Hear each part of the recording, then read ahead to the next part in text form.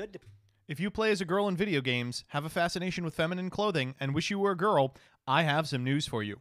Gage of Optimal Media is playing a good glad list. depending on what Alex is on,